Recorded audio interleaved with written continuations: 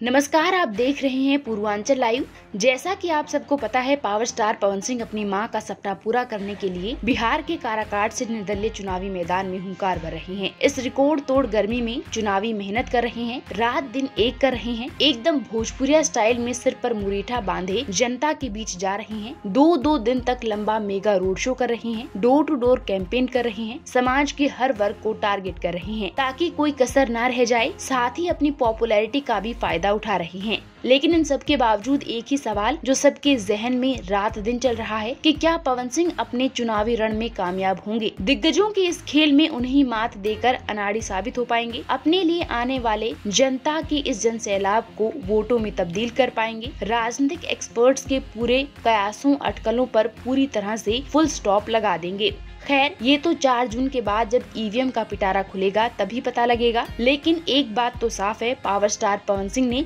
निर्दलीय चुनावी बिगुल फूंक कर अपने दो दिग्गजों उम्मीदवारों और उनके गठबंधनों के शीर्ष नेताओं का इस चुनाव में गला सुखा दिया है, जिसका एक कारण पवन सिंह का उनके इंस्टा अकाउंट पर पोस्ट किया एक वीडियो है, जिसमें पवन सिंह अपने चुनावी क्षेत्र काराकाट में डोर टू डोर कैंपेन करते हुए दिख रहे हैं, जिसमें वे खास तौर पर देश की आधी आबादी महिलाओं और बहनों बहनों को टारगेट कर रहे हैं इस वीडियो में साफ़ नज़र आ रहा है पवन सिंह थक रहे हैं लेकिन फिर भी रुकने और थमने का नाम नहीं ले रही हैं। वे सभी माँ बहनों के साथ सेल्फी ले रही हैं, तो कभी सिर झुकाकर खूब आशीर्वाद ले रही हैं, तो कभी पैर पकड़कर आशीर्वाद ले रही हैं और बीच बीच में लोगों में अपना संबोधन भी कर रही हैं। जानकारी के लिए आपको बता दें कि पवन सिंह 9 मई को अपना चुनावी नामांकन करेंगे जबकि काराकाट में 1 जून को वोटिंग होगी